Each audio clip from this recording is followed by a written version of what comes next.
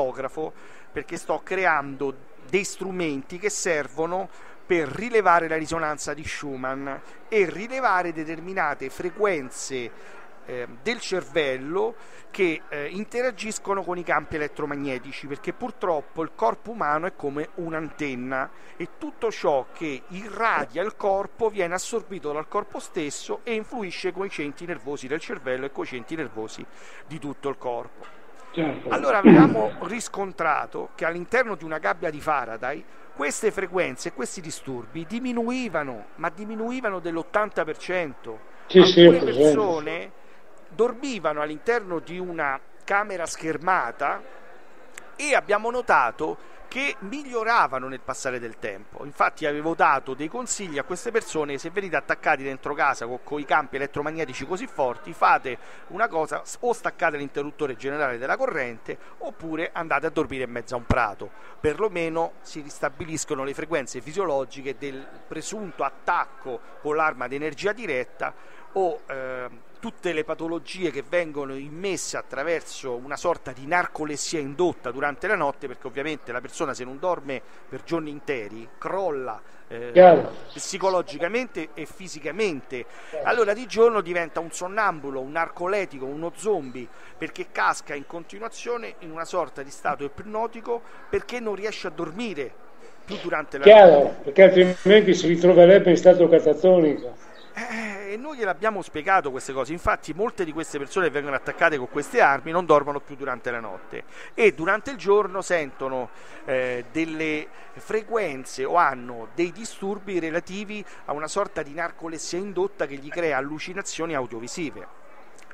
E purtroppo certo. questa questa anomalia l'abbiamo riscontrata su moltissime persone che venivano attaccate con questi sistemi. Cioè sulla mia radio web io ho messo eh, varie testimonianze di persone che praticamente le ritenevo più attendibili e queste persone dicono tutte quante la stessa identica cosa, che vengono attaccati durante la notte, che sentono le voci, che hanno dei gravissimi disturbi, che gli creano dei blocchi della memoria, che gli, che gli hanno creato delle gravissime amnesie, che hanno perso i telefoni, i cellulari, i soldi, eh, sono addirittura eh, incappati in anomali cortocircuiti all'interno di casa. Sembrava come se venivano attaccati con le stesse tecnologie che hanno utilizzato per caronia centraline bruciate, televisori bruciati, computer bruciati, hard disk eh, che, pre- che, gli prendevano a fuoco, che si surriscaldavano.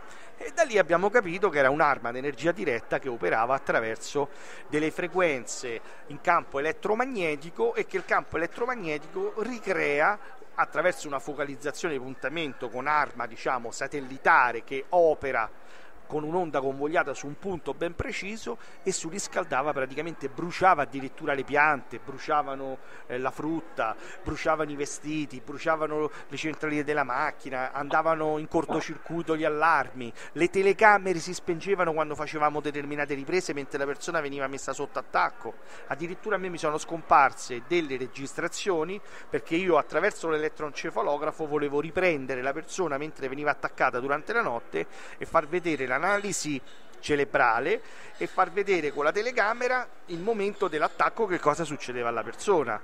Con alcune persone abbiamo avuto la testimonianza totale e abbiamo riscontrato che venivano attaccate veramente con queste tecnologie perché ho fatto le analisi anche io attraverso l'elettroencefalografo e ho visto i stati di disturbo attraverso le radiofrequenze. Con altri purtroppo abbiamo avuto dei problemi perché non siamo riusciti a finire le eh, registrazioni. Sì, sì, ti credo senza... senza... Emiliano, io non mi meraviglio più di, di, nulla, proprio di nulla, di nulla, di nulla, di nulla. Perché mm, cioè, eh, in un mondo, eh, tu sai che io scrivo anche qualche poesia e mm, cioè, mi piace scrivere poesie eh, tra virgolette di protesta, cioè, non di protesta, mm, poesie di realtà. Ma eh, in questo mondo dove i valori praticamente stanno, man, cioè, man mano che andiamo avanti, stanno scomparendo, e, cioè questa, questa, questa cosa, questo controllo mentale è soltanto un, eh, un, uno degli ultimi tasselli, diciamo, che, eh, che, possono, che possono inculcarci, che possono, che possono farci patire. E, dico una cosa egoisticamente parlando, meno male che non c'è ancora evidentemente la tecnologia per fare il controllo di massa con questa tecnologia, perché evidentemente riescono ad attaccare dei singoli soggetti e non riescono ad attaccare una moltitudine di soggetti. Evidentemente per, eh, non so, ehm, per, eh, per frequenze, per, eh, per evidenti canalizzazioni che devono essere evidentemente molto forti, e, e, forse non hanno la tecnologia che è in grado di agire praticamente eh, in, eh, in, multiplo.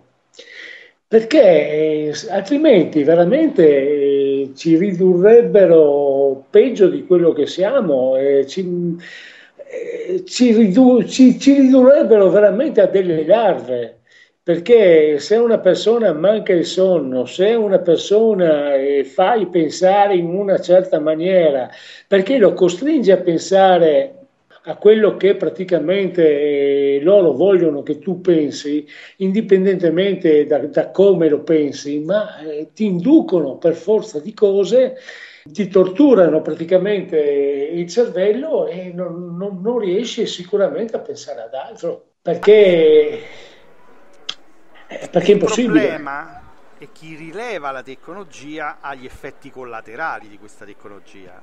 Ma noi abbiamo capito che vengono irradiate anche altre persone che non hanno nessun tipo di sintomo, non hanno nessun tipo di disturbo.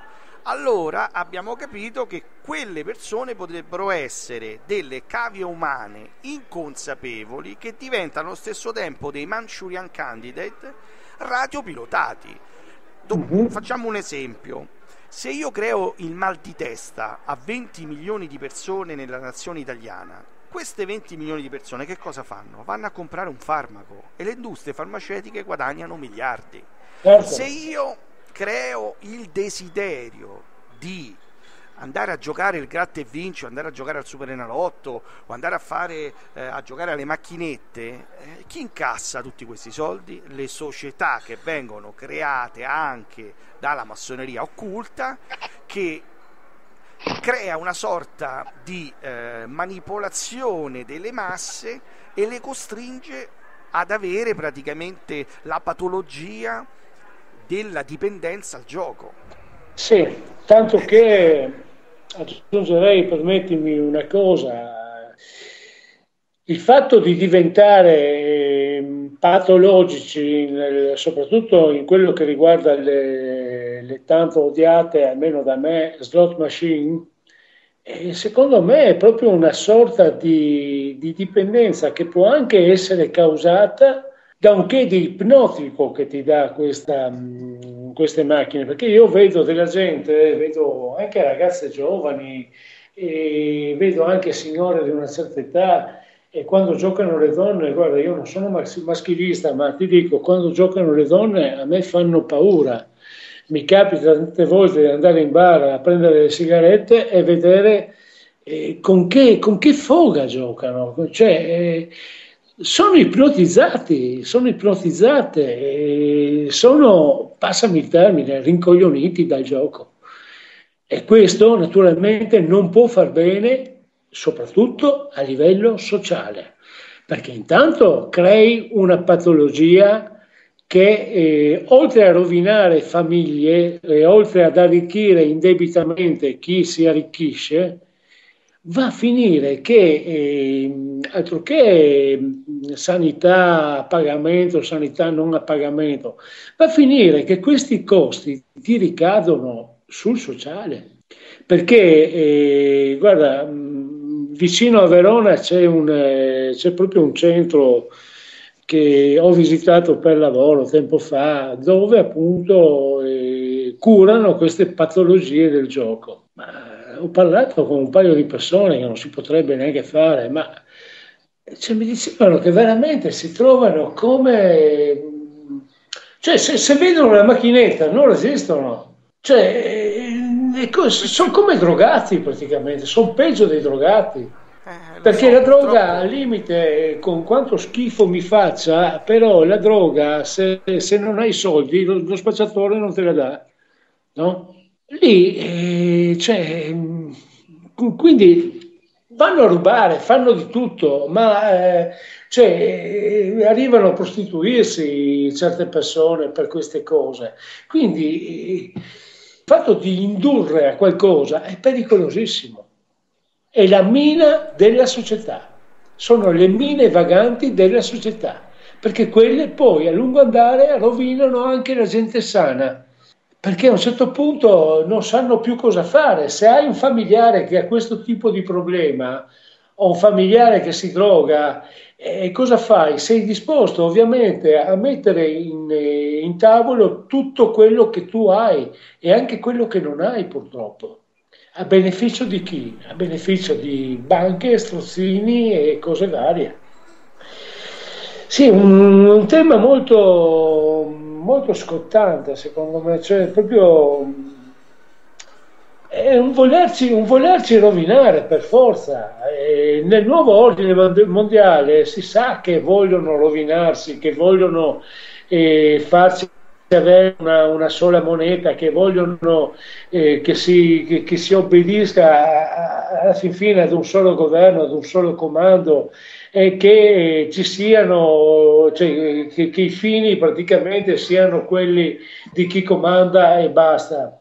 E questa è, cioè, la, la dice lunga, cioè, questa è la longa manus del, del nuovo ordine mondiale, la, la, la longa manus del, degli apparati eh, che sono sicuramente deviati, che non sono apparati ufficiali, ma che sono, che sono controllati da mh, mm, entità, eh, non sto parlando di spiriti, ma da entità ben definite e che hanno l'interesse appunto di, di far unificare e di, di, di, rendere plasmabile questo mondo. Ecco. Noi l'abbiamo definite entità extragovernative. Esatto, eh, vabbè, guarda, io non, non, non, ho dato questo termine, comunque eh, il, pensiero, il pensiero è comune, poi insomma quello che ti ho detto prima dei camerieri perché io, guarda, ti dico la verità, non metto in dubbio la buona fede di, di chi governa o tenta di governare, ma sai, quando ad un, ad un che di ufficiale contrapponi qualcosa che non è, oltre a non essere ufficiale, non è controllabile, a un qualcosa che non è tangibile, è come se fossero degli ectoplasmi perché riesci ad intuire, riesci magari ad arrivare eh, fino, fino vicino a dove può essere la fonte del problema, ma non riesci a toccarli, perché chi ha tentato di toccarli sappiamo benissimo che fine fa. Non so come vuoi chiamarli. Purtroppo noi li abbiamo chiamati in molti modi perché tutte le persone che abbiamo eh, ricevuto nelle varie riunioni, nelle varie interviste che abbiamo fatto, tutti li hanno definiti come dei carnefici, come il terzo Rai, come dei nazisti che fanno esperimenti sui campi di concentramento che adesso sono diventati praticamente campi di concentramento tecnologici?